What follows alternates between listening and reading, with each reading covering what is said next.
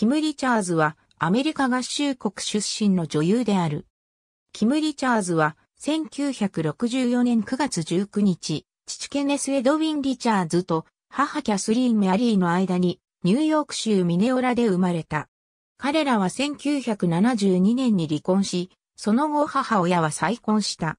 彼女の姉妹には、母の最初の結婚相手との間に生まれた姉で、同じ女優のキャシー・ヒルトンと妹で、同じく女優のカエル・リチャーズがいる。キャシーの娘のパリス・ヒルトンとニッキー・ヒルトンはメイに当たる。ウェールズとアイルランドの家系。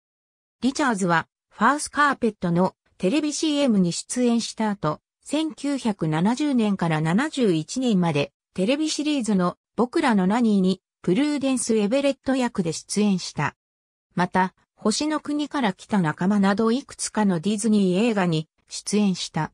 他にも大草原の小さな家にもオルガ役で出演している。ザカーではジェームズ・ブローリンの娘役で妹のカイル・リチャーズと共演している。人気テレビシリーズのアーノルド・ボーヤは人気者や白バイアロージョンパンチなどにもゲスト出演している。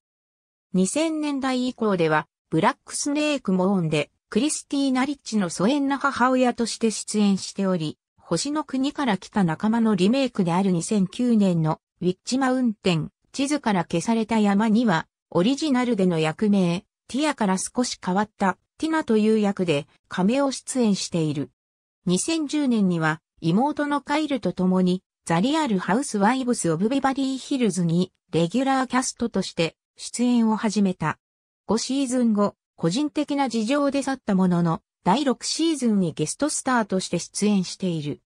1985年に、後に、プロのポーカープレイヤーとなるモンティ・ブリンソンと結婚、翌年娘のブルックを授かる。ブリンソンとは1988年に離婚し、その年の後半、石油王マービン・デイビスの息子、グレッグ・デイビスと結婚した。二人の間には、娘のホイットニーと息子のチャドがいる。デイビスとは1991年に離婚している。リチャーズは商品販売員ジョン・ジェイ・コレットと関わっていた。彼は8000人の高齢投資家から1億5000万ドルの損失を伴う犯罪の中心人物で、1991年10月28日、ロサンゼルスノースリッジのブレント、エスデリーの外で3万ドルを払ったヒットマンに至近距離から頭を撃たれて殺害された。銃撃時二人は電話で話していた。リチャーズはザリアル・ハウスワイブス・オブ・ビバディ・ヒルズのエピソードでコレットの殺人について語った。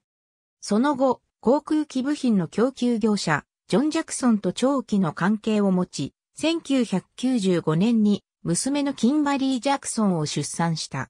2015年4月15日、リチャーズはザビバリーヒルズホテルの警察官に公衆での泥酔、警官への暴行などで逮捕された。彼女はロサンゼルスの拘置所にて一晩過ごしたが、2万ドルの保釈金を支払い釈放された。同年8月2日にはカリフォルニア州にあるディスカウントストア、ターゲットにてショッピングカートを押しながら回り、大量の商品を入れたまま店を出たことで万引き未遂でまた逮捕された。バンナイズの拘置所で一晩過ごした後、5000ドルの保釈金を支払い8月3日に釈放された。ありがとうございます。